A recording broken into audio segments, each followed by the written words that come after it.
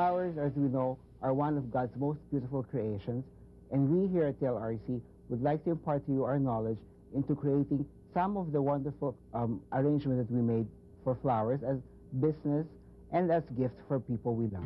Sa ating course of flower arrangement, we will try to learn in Module 1 the elements, principles, forms of flower arrangements, iba-ibang styles and designs of flower arrangements. We will try to give you some practical tips, some hints, some suggestions on how to become a successful florist. Sa Module 2, we will get to know the preparation of floral foam and other materials and how to prepare the table arrangement. Module 3 will have the facing arrangement and the standing arrangement. On Module 4, the topiary, the very popular topiary and driftwood arrangement. Module 5 will have Oriental-inspired and uh, the very modern avant-garde design.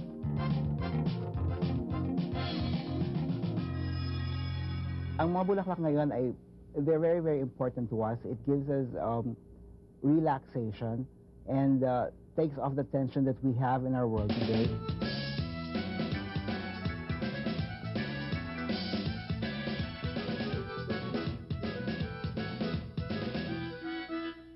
This is a very lucrative business nowadays because um, we grow our own flowers now, not like about 10 years ago when we used to import like half of our flowers.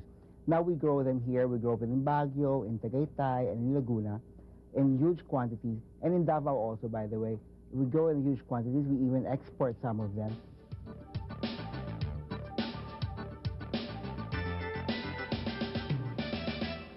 Ano ba ang flower arrangement? Not just isang kumpol ng bulaklak na ilalagay mo lang sa container, pero it's something that we work on and uh, something that we put our minds and our hearts on. Not just our mind, but also our heart, because art comes from the heart. It has to be feminine, and it has to be like harmonious, and the, the place or the location where we want to put our flower arrangement, and also incorporating the occasion where we want to give our flower arrangements. Kailangan isipin natin yung iba-ibang klaseng uh, the things or the aspects that involve flower arrangement. Uh, we have principles. We don't necessarily have rules, but we have uh, things like taste and um, events that we could, we must um, try to think about before doing flower arrangement. One of the most important things, uh, dahil ito yung unang-unang nakikita sa flower arrangement, ay ang color kailangan yung color nyo, it has to be either maganda ang contrast niya. Now, after color, we have um, form. Now, form is yung shape ng flower arrangement. As we have this one, this is a heart-shaped flower arrangement. Isa sa mga typical forms is this round centerpiece here. Now, this one will also give you an, um, an exact balance of uh, using flowers. As we can see, even if I turn it around, there's like almost equal number of flowers from all the sides of the arrangement. Whereas this, for example, we have the asymmetrical balance, wherein um, the, bal the balance here is projected through this axis here. Bali, ito naka-extend na ganun, tapos everything is grouped up here. Now, with regards to texture, importante din it gives interest to the flower arrangement. We take this fruit and flower basket, for example. We have uh, yung mga leaves na ginamit ko, I have anahaw leaves para medyo siya coarse or medyo rough surface. Now we have liliums para smooth naman siya. And we have the fruits that have smooth surfaces. Tapos this one also gives us contrast. Tapos ito rough surface din ito. Ang flowers natin, we, we categorize them into different um, classes. We have line flowers. Ang, line, ang purpose ng line flowers is yun yung magbibigay ng height, magbibigay ng, ng uh, yung, yung width niya, at yung length ng arrangement. Ang line flowers, ang example natin itong Liatris, at saka itong fishtail. Normally, ang line flowers, sila yung mga pahaba, patulis, or yung mga ladder type of uh, greeneries, parang fishtail, or yung ferns, or yung pako. Now, ang focal flowers naman, ito yung nagkukuha ng attention sa iyo once you looked at an arrangement. Like, in, sa arrangement na to, ang focal flowers natin is yung pink carnations. Because once you look at this arrangement, your attention will be caught by this pink carnation. Now, yung fillers naman, as we said, fillers, sila yung pampuno. Yung, yung, uh, pwede rin silang wala ito, but then in, in, in that case, kailangan dadamihan natin masyado yung focal flowers. Now, kung medyo um, gusto natin mas classy ang itsura, so we lessen the amount of uh, the focal flowers and we put on filler flowers to complement. Here we have the secondary flowers. We use the spray moms as secondary flowers para siya yung uh, lumaki yung arrangement. So it will not be like um, too uh, costly. So ito yung ginamit ating secondary flowers. Where um, in other arrangements, pwede rin naman siyang focal flowers. But since they're clustered, normally secondary flowers are clustered and um, medium sized. Now we have some practical tips for you, some suggestions on how to become a good floral artist. Uh, one, one very, very uh, practical tip is we never ever say the word mura or cheap in flower arrangements because it will always make our flowers look very low. Kailangan yung flowers na gagawin natin parating uh, pleasant, parating happy colors, parating uh, live colors. Ngayon, with regards to yung pricing ng flowers dahil sa iba-ibang seasons ng, ng taon, uh, normally, flowers are very expensive from the months of uh, October till February.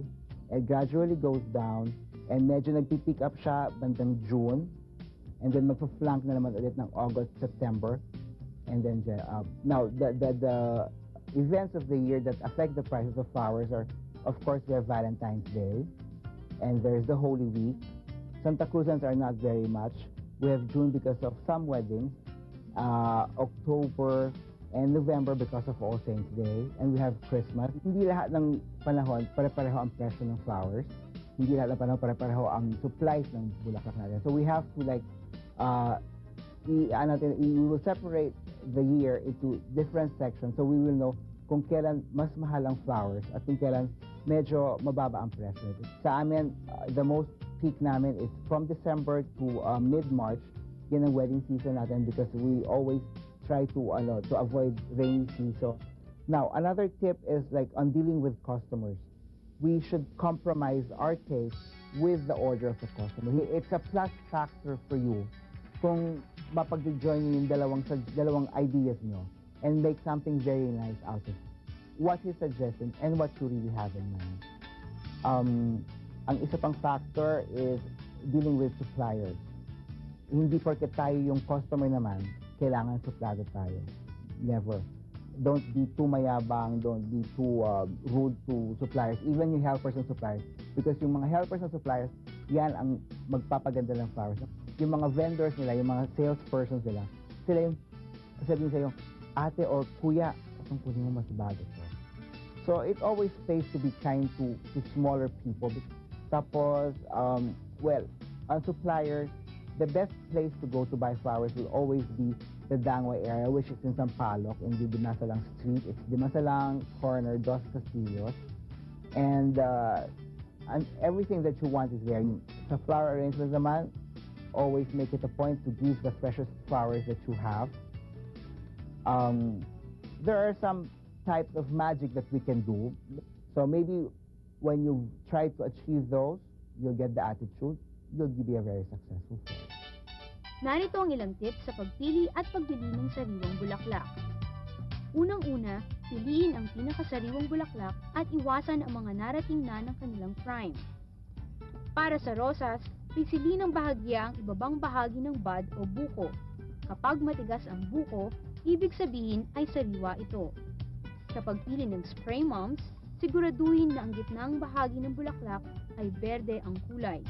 Kapag madilaw, ay matagal na ito sa shop o sa cooler. Ang anthuriums naman ay dapat na may greenish o pinkish na kulay sa dulo ng spade. Kapag madilaw ay malapit na itong malanta. Ng orchids, dapat ito ay matigas at ang mga stalks o tangkay nito ay berde. Para sa mga asters at ibang fillers, siguraduhin na ang ibabang bahagi ng tangkay ay hindi brownish, malata at mabaho. Ang mga dahon na gagamitin ay dapat may natural na kulay. Matagal na ito kapag manilaw-hilaw o brownish na ang kulay nito. At pagdating sa shop ay luwagan lahat ng pagkakatali ng nakabungkos na bulaklak para makahinga bago ilagay sa cooler. Siyempre, nariyan din ang ilang tips sa pagpreserba ng mga halamang gagamitin. Laging tatandaan na tanggalin lahat ng mga dahon na nakasayad sa tubig dahil maaari itong maging sanhi ng madaling pagkabulok ng inyong mga bulaklak. Sa pagputol ng mga tangkay ng bulaklak, kailangang pahilis ang pwesto ng inyong cutter. Makakatulong ang diagonal na cut sa pagsipsip ng tubig ng mga halaman. Maaari ring gamitin sa pagpreserba ang mga commercial na chlorine bleach. Hindi lang ito mapapanatiling malinis ang tubig, mapapanatili din itong matigas ang mga petals ng bulaklak. Nirekomenda ito sa mga bulaklak tulad ng rosas, chrysanthemums, orchids, anthuriums at iba pa. At para sa mga rosas, dapat tanggalan ng mga tinik, sobrang dahon at mga labas na petals. Dapat ding ilatag ang mga ito ng magkapantay at balutin ng maayos.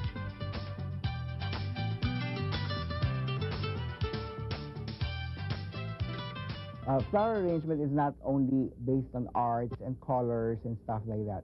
Siyempre, we have to think of the business side of things. Kailangan natin kumita, kailangan natin kumita ng extra to support our family, to support our income. When it comes to flowers, of course, it's based on the season or the occasion that we're going to do.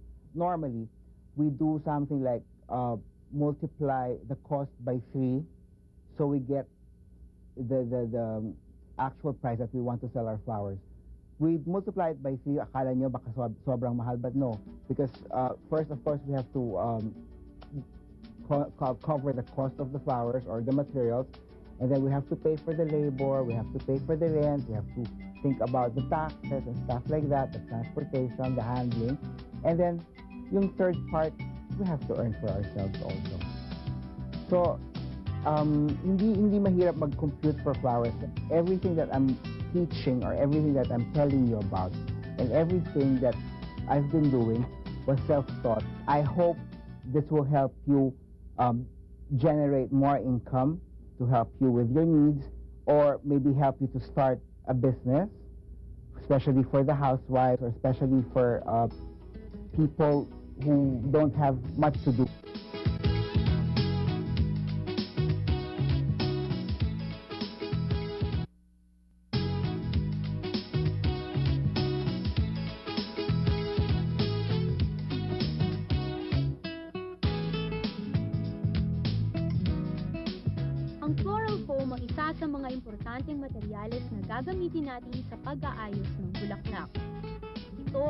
Nagsisilbing tusukan ng mga bulaklak na ating gagamitin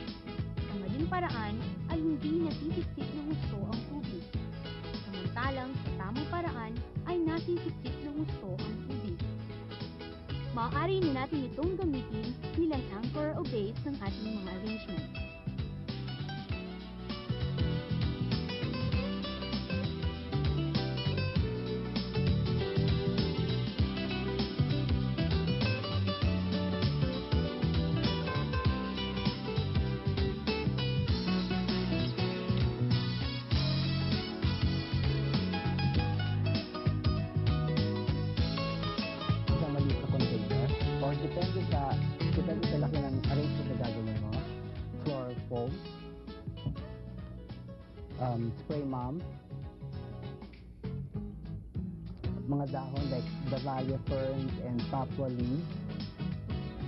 at after.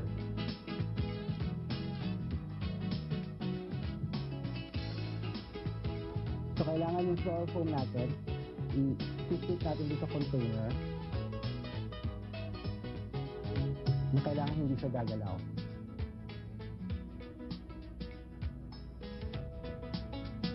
na it's advisable na yung, yung taas ng floor foam sa container is mga 1 to 2 fingers from the lid.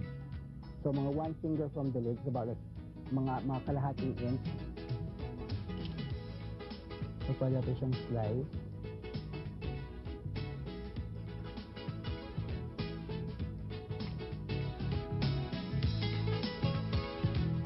Tapos pwede tayo mag-start. Kailangan natin magsimula sa taas.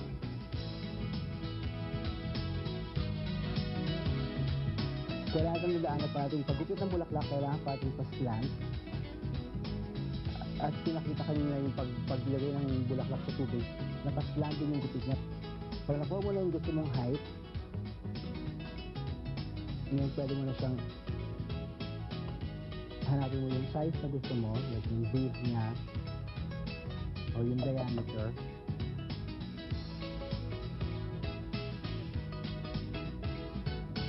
Now, ang pinakamadaling paraan para paggawa ito is like to connect ito from here, from down, going upward.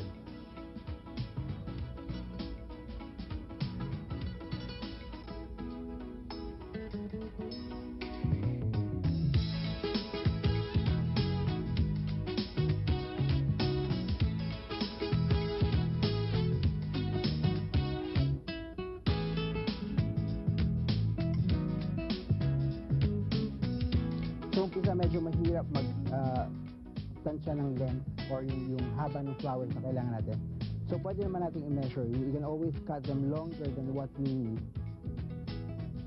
Tapos, pwede natin siyang isukat. Ganyan. So, tatansyahin lang natin.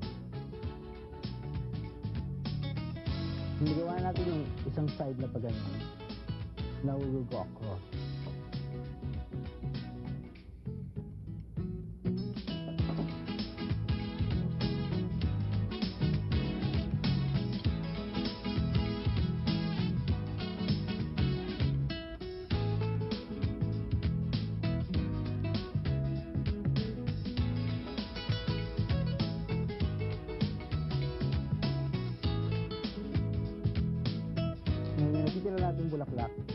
I-kalat natin siya ng uh, balance.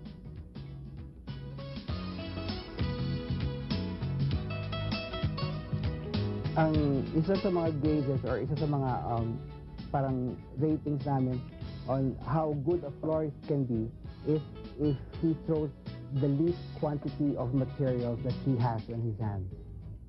As in, almost wala siyang tinatapon.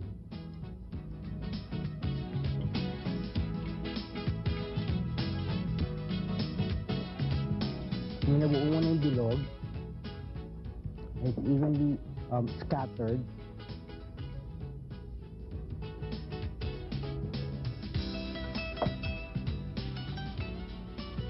Pwede natin siyang lagyan ng konting dahon.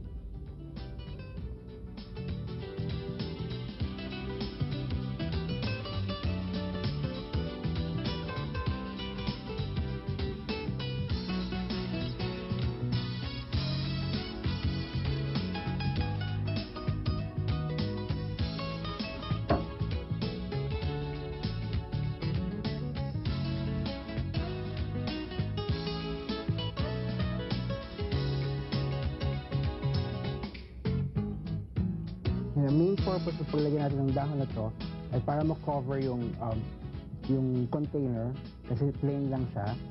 Tapos para matakpan yung floral foam. Yung para maging mas interesting yung arrangement, we, we will not um, like rely on one kind of leaf only. Kasi ang, ang flower arrangement is hindi lang siya yung isang klaseng bulaklak, isang klaseng dahon, isang klaseng filler. Mas maraming variety, mas interesting, mas maganda.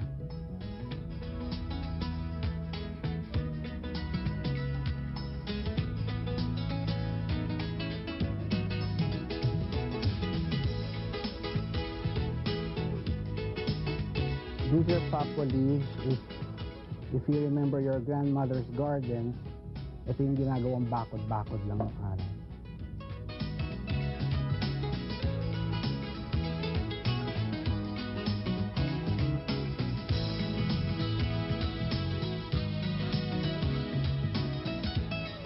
Ngayon kung nakita nyo parang nagkaroon siya ng mga lines, so pwede nyo namang usod yung mga bulaklak. You have to take it out, recut, but you must make sure na ibang lugar yung pagtutusukan nyo ulit.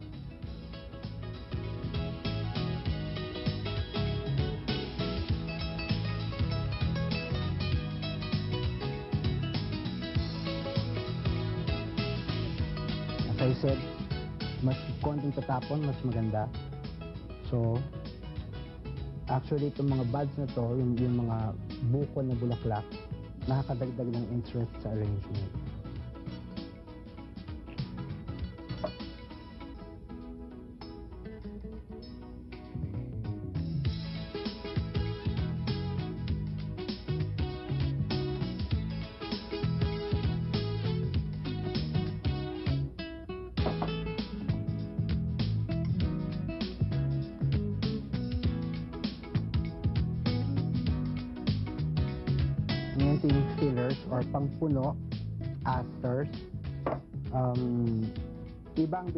Sa asters, mas matibay ng konti to. Kasi ang baby's breath, minsan pag, pagkabukas mo lang ng balat na gano'n, minsan nakasarado na kagad yung bulaklak niya. So makita mo puro stems na lang. Ito yung princess variety. Medyo mas matibay ng konti kasi dun sa Holland. Although mas ano mas compact yung flowers niya.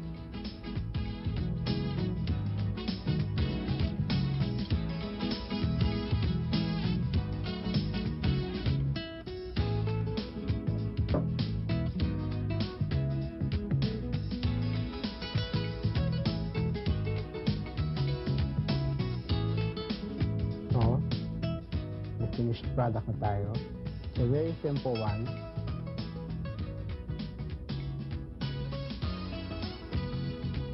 Pero, you can just imagine how much we charge pag ginagamit natin sa wedding or normal party.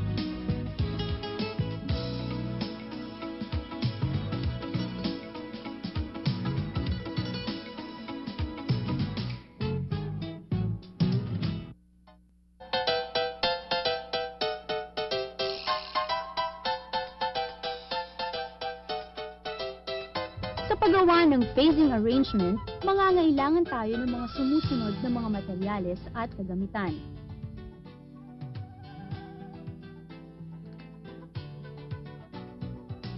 Carnations. Beatrice. Dahlia Fishtail. Song of Jamaica.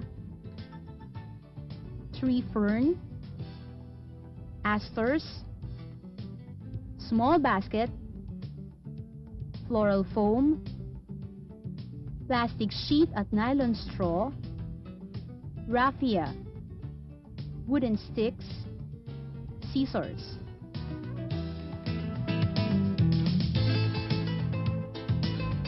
Okay. Um, ang gagawin naman natin ngayon ay um, facing arrangement. Yung one side lang siya. Ang gagawin ng container ay basket. Marami tayong basket dito. Ang mga foreigners, itong pinipili sa um, products natin. We export this. Pero pag basket ang gagamitin natin, at gagamit tayo ng floral foam, kailangan natin lagyan ng lining. That's why we need the plastic sheet para hindi magdi-drip ang floral foam. As we said, kailangan natin medyo nakaangat yung floral foam. So yung mga excess na floral foam na pinagtabasa natin nung una, we have to keep it, pero we have to bear in mind that we have to keep it in water kasi kailangan pa natin siyang moist. Kasi ang floral foam, once nalabasan na natin, tapos natuyo siya, hindi na siya mag-absorb ulit ng tubig. So, magiging useless na. Know, if we cannot keep it submerged in water, pwede natin siyang balutin in a plastic bag for, well, a period of time, tapos pwede natin siya basa-basain.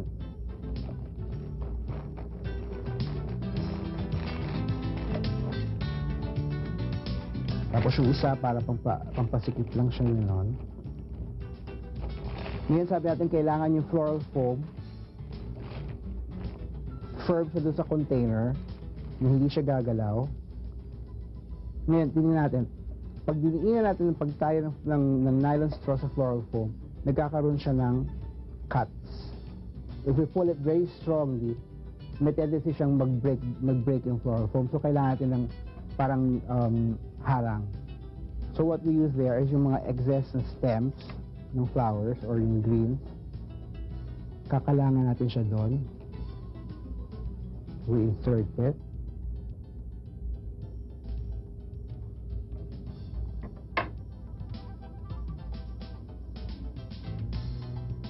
Doon sa mga kanto,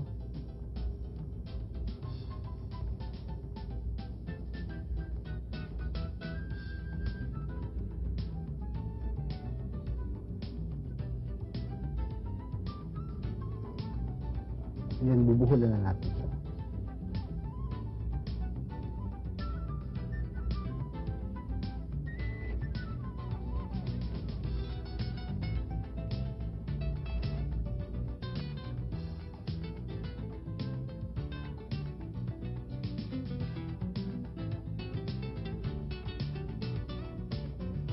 cut the excess. Oo. Ngayon, pag natali na natin siya, nagupit natin excess, kailangan i-shake natin para malaman natin na firm yung pagkaka-secure natin ng floral foam.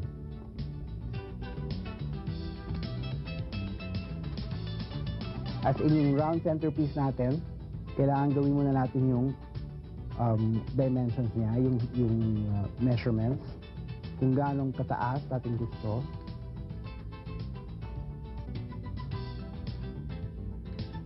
And gaano siyang kalapad.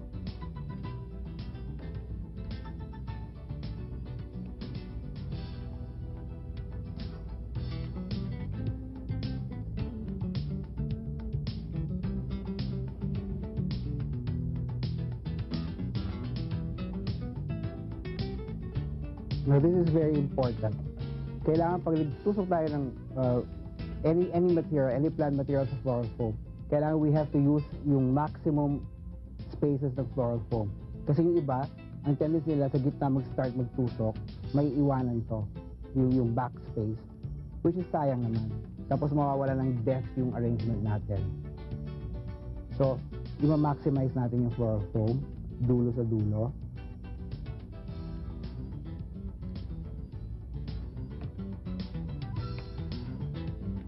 Tapos kailangan pipiliin natin yung magandang korte, yung magandang itsura ng leaves, or any plant material para hindi naman kakahiya yung gagawin natin.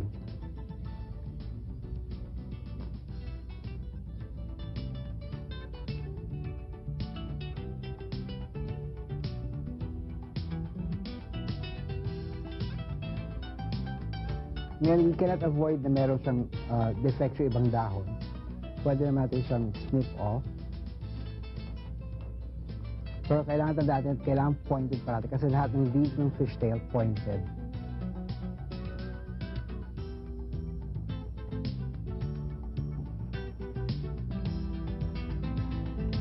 Yung mga pinagdabasa natin kanina,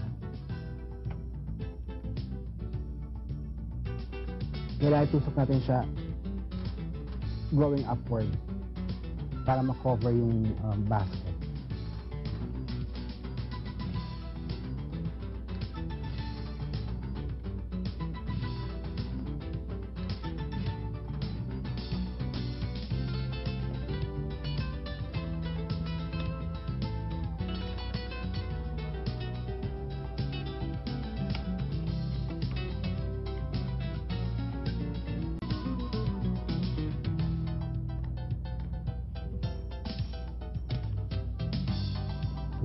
To the next um, variety of green.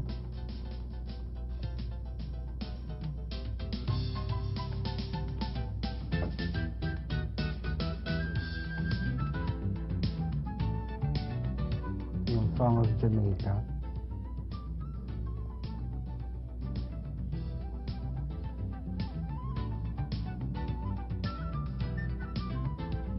Tapos para mag-complement, lagyan natin ng the value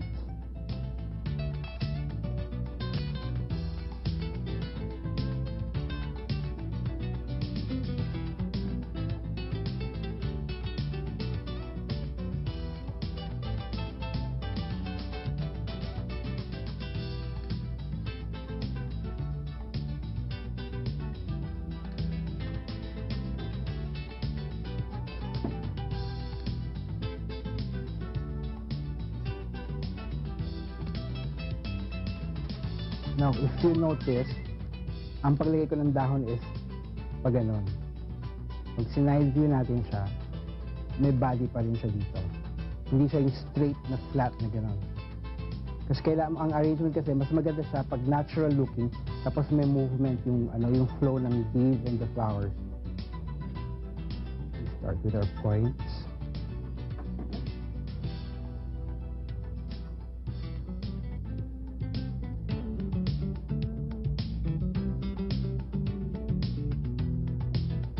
These are Beatrice. We used to have them imported, but we now grow them locally from Baguio.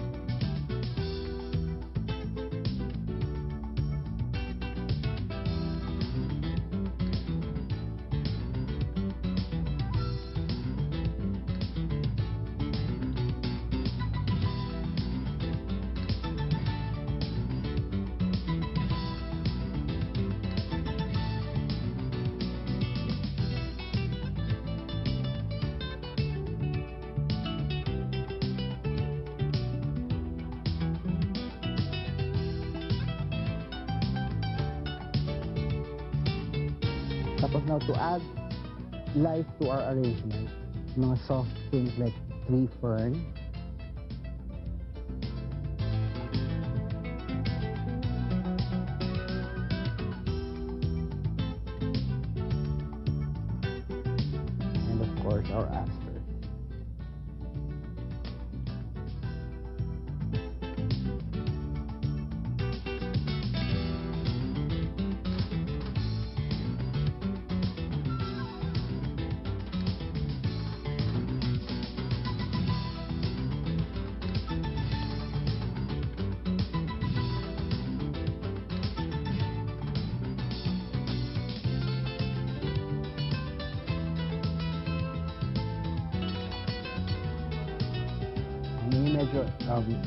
Equal na balance na yung paglagay natin ng flowers.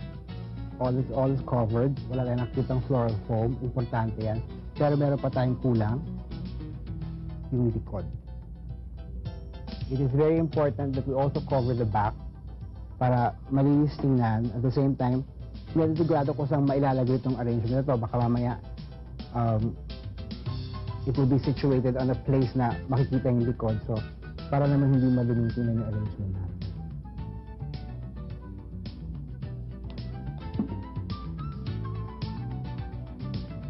Um, if you don't know sa mga floral competitions, isa to sa mga tinitingnan ng mga judges. Yung mga finishing touches ng arrangement.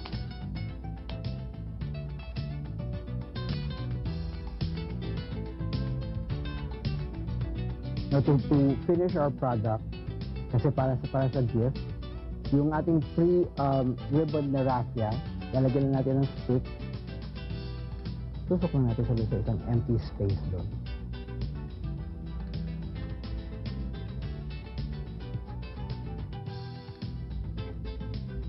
So we now have a very simple, very elegant, one-sided arrangement, one face na pang-gift.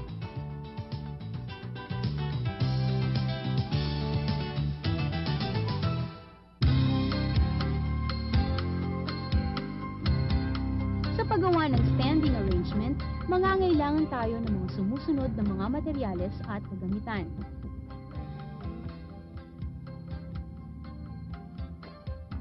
Bamboo tripod, clay pot at floral foam, fishtail lids, and now lids,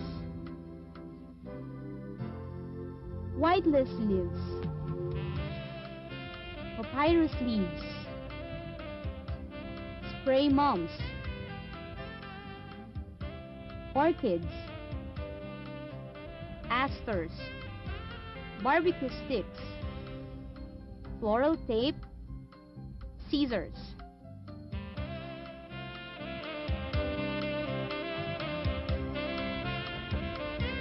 Now we'll do something that's uh, called standing arrangement. It's um, very good for funerals and inaugurations, for house blessings, and sometimes for churches.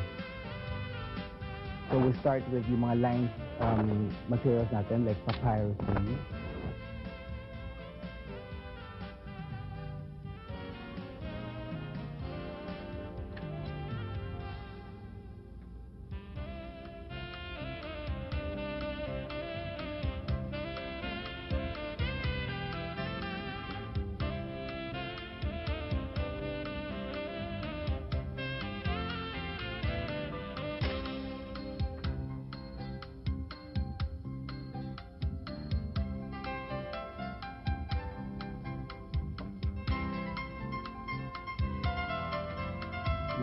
papyrus, we fill up the spaces to make our shape.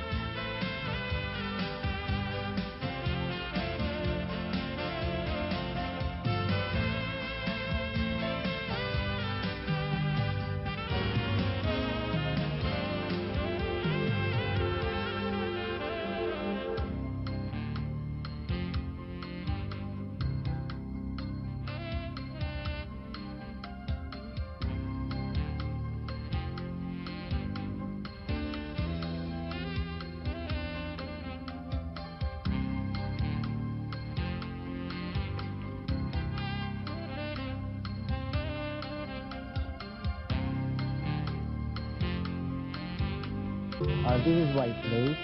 Ang gagawin dito, ibabind natin siya or cluster natin siya together with barbecue stick because yung stems niya are too soft, hindi na hindi siya pwedeng itusok basta-basta sa floral foam.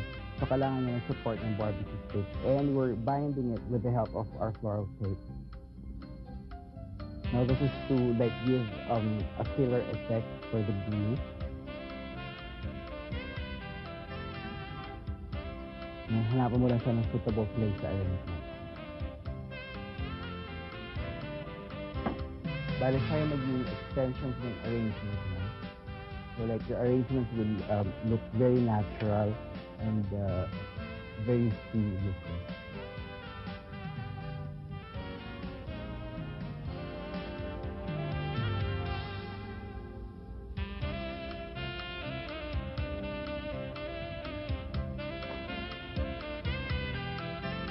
When with that, add some more filler.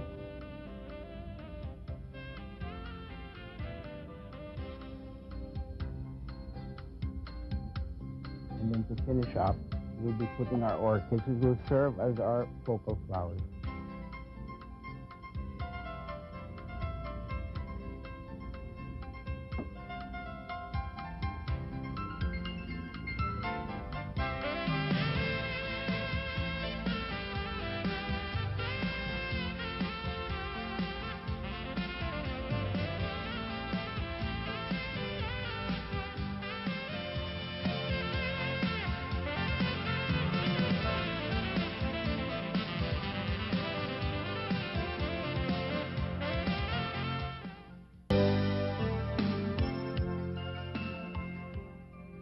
Sa paggawa ng topiary, mangangailangan tayo ng mga sumusunod na mga materyales at kagamitan. Metal stand, nylon straw, paper twine, floral foam, hapwa leaves, spray moms, formosa vines, purple asters, petit anthuriums, scissors,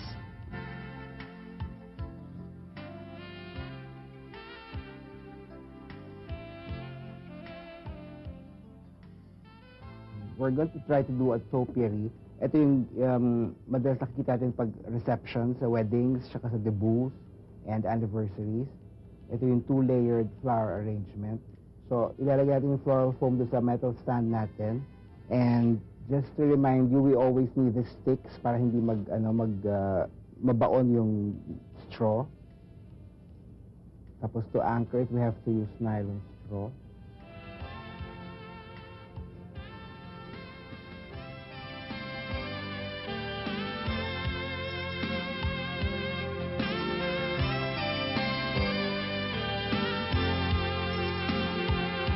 Natin gagamitin yung uh, Formosa vines natin.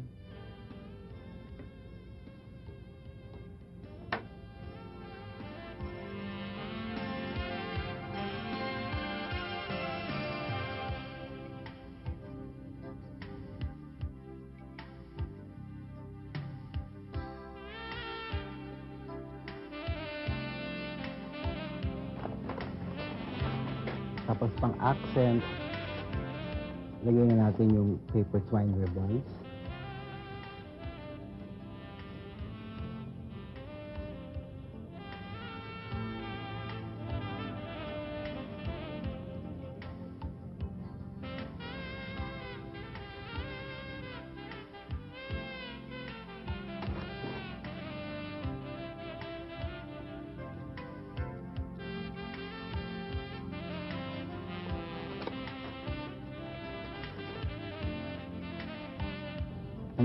Start by covering the floral foam with uh, papua leaves.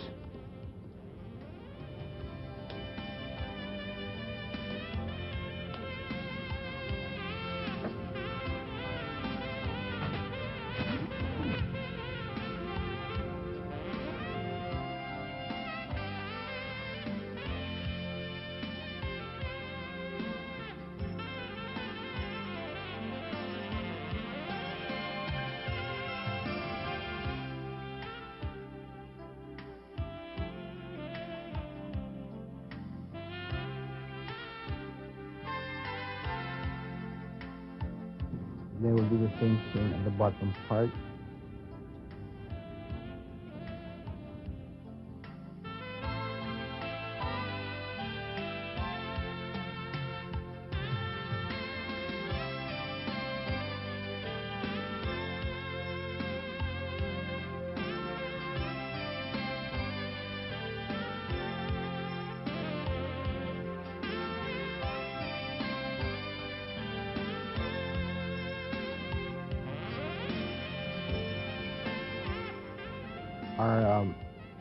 secondary flowers, which are the moms.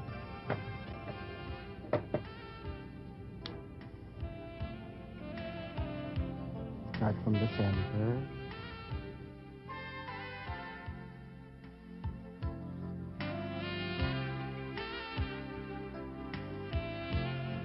Now, word of caution, hindi dapat pupunuin kagad yung top kasi baka may maubos yung flowers mo, wala ka na ilagay sa ilalim. So, parang ilalagay mo lang siya sparingly at the first.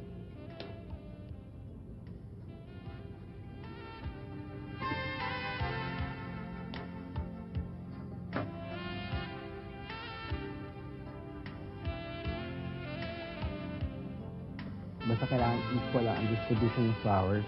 They don't have to be siksik. Tapos you can start at the bottom.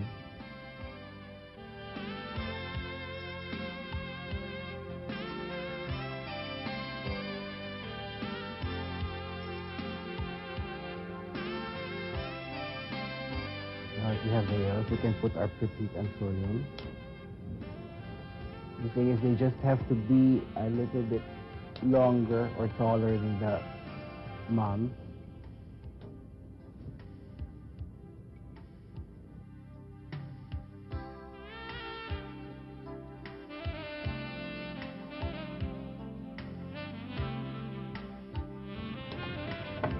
And to finish it, we'll put our purple acid.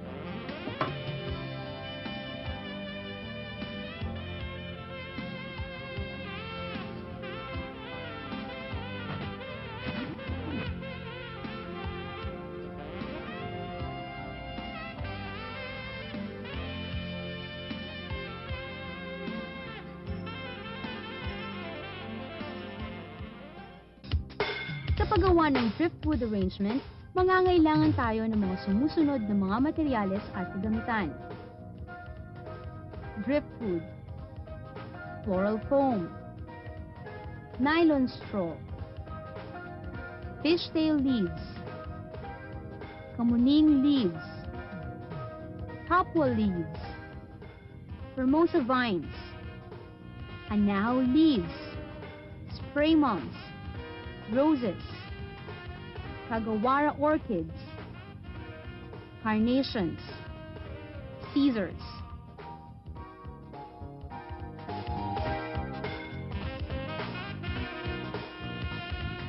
um, doing arrangements in the driftwood para tayo mag-create ng illusion na um, isang flowering na puno na pwede natin gamitin para for inaugurations or pag may party sa bahay or for big reception.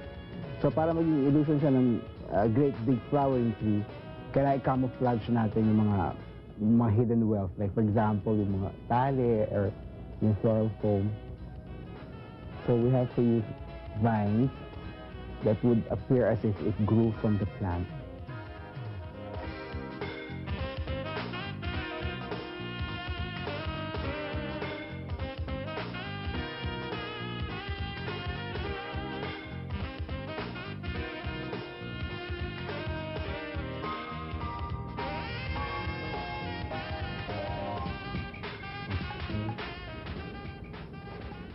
Afterwards, we cover we cover all the foam.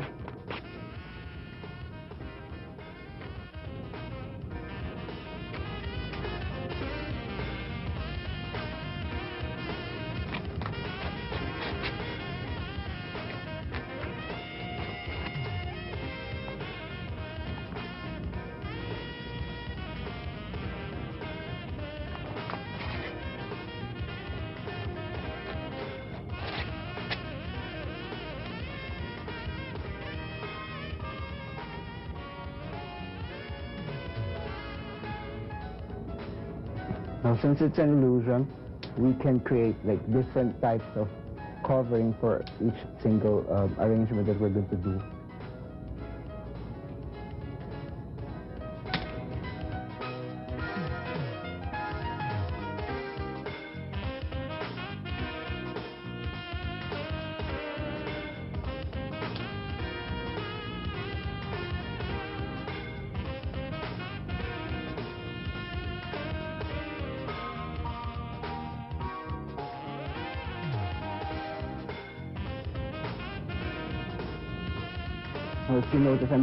Different greens for each and every foam that I place. It's so that we can um, attract more attention and give impact to uh, each single arrangement.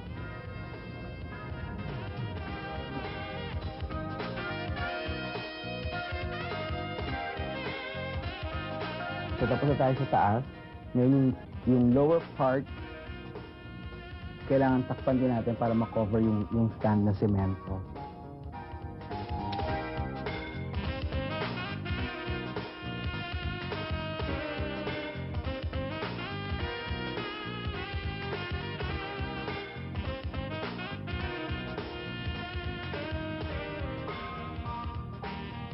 Double check kung visible pa yung mga tali at floral foam.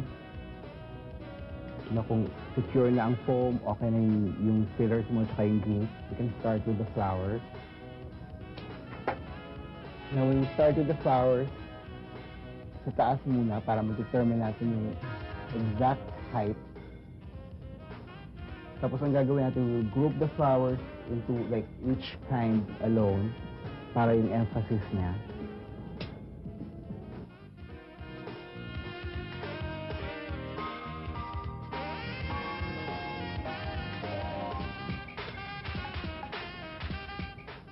Move on to spray mom.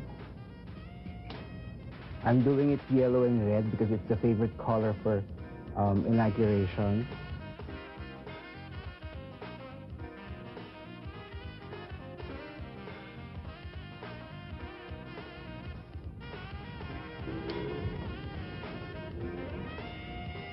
Roses naman tayo ngayon.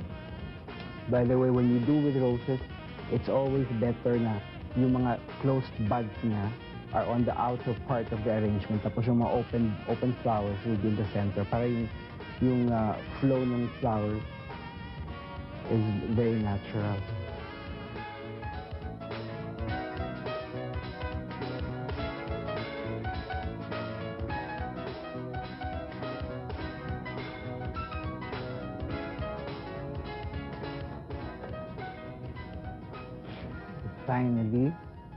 Go to our yellow creation.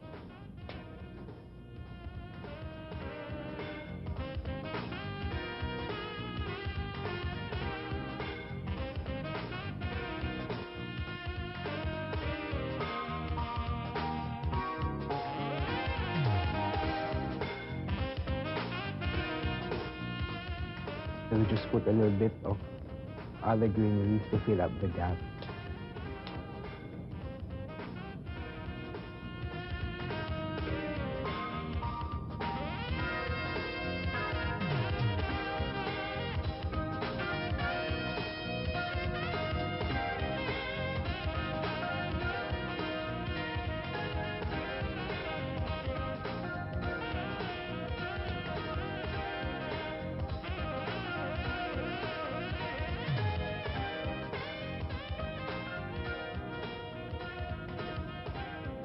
We finished our driftwood arrangement.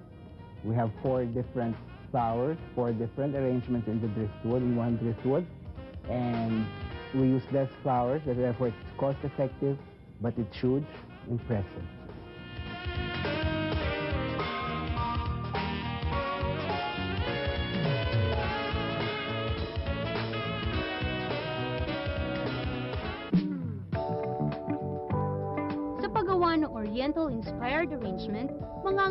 Tayo ng mga sumusunod na materyales at kagamitan.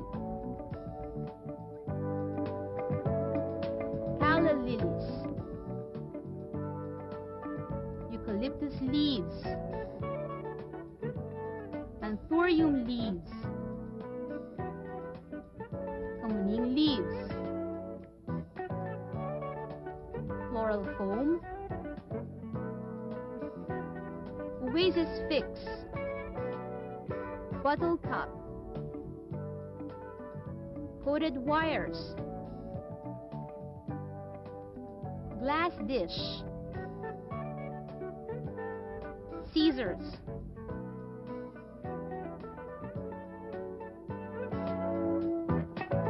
Now we're going to try to make um, an oriental style arrangement using a semi-flat dish. This dish is normally used for candies or sweets or biscuits, but we're going to do we're going to use this as a container for flowers. Now since it's a flat thing and uh, we cannot anchor this by means of tape or um, nylon cord because it's going to show. There's a different technique that we use now.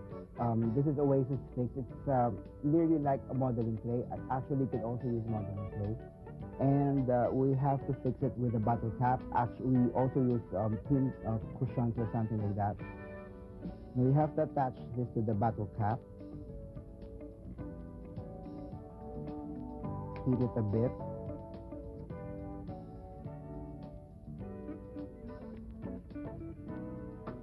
And attach it to the surface where you want to put your flower.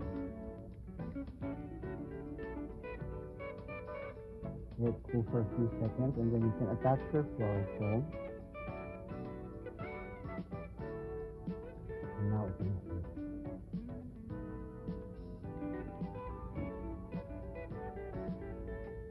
Now, since we're going to do something that's Oriental inspired, it's going to be minimalist. We will use very few flowers, more on greeneries and accessories. We'll start first with the flowers, with the main flowers that we're going to use. We will use calla lilies. These are naturally colored calla lilies.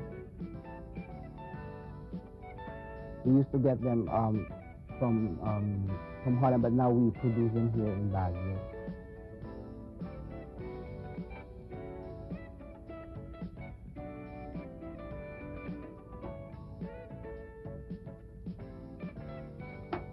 Just have to be careful when cutting. 'Cause It's a fleshy, uh, it has a fleshy stem.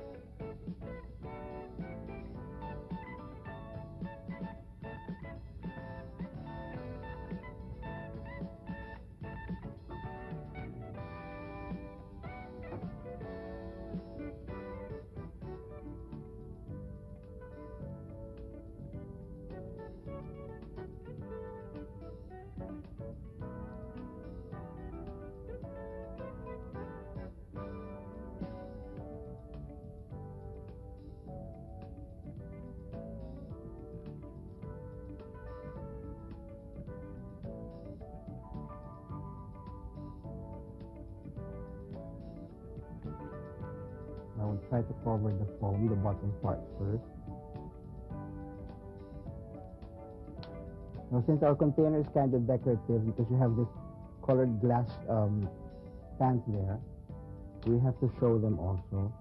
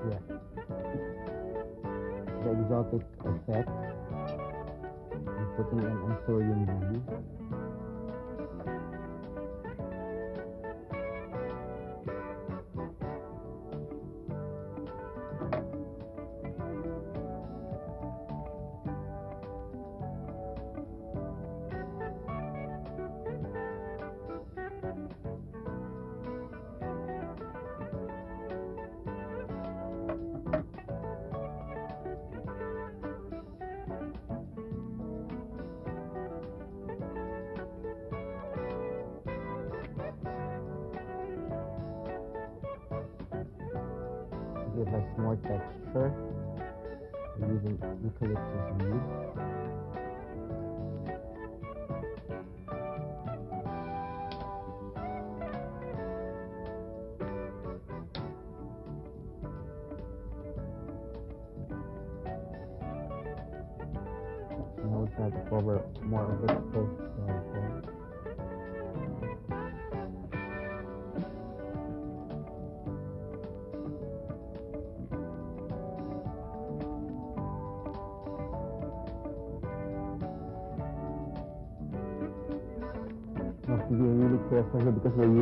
Piece of foam so we don't crush it.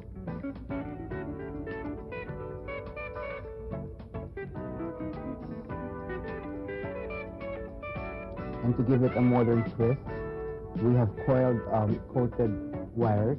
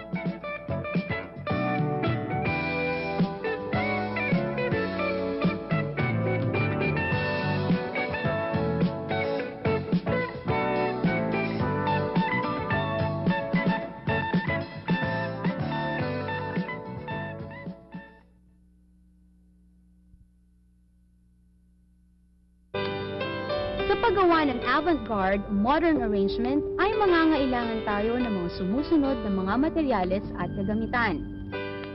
Ceramic vase Rattan ball. Protea. White lace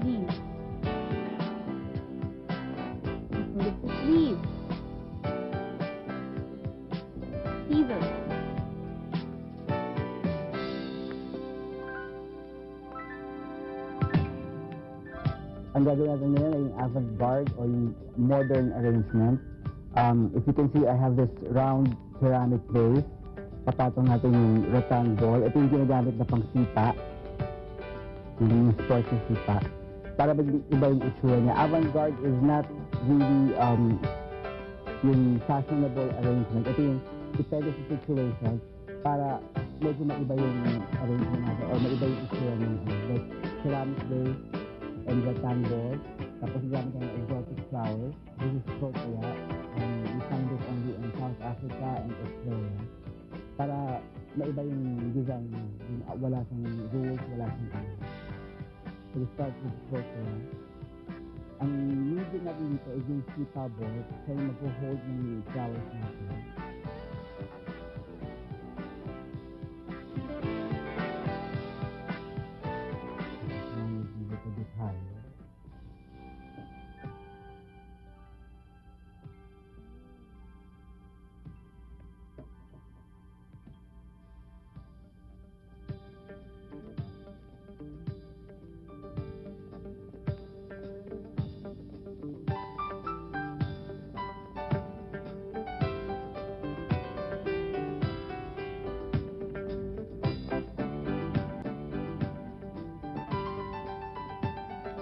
Natin yung mga dahon. Eucalyptus leaves.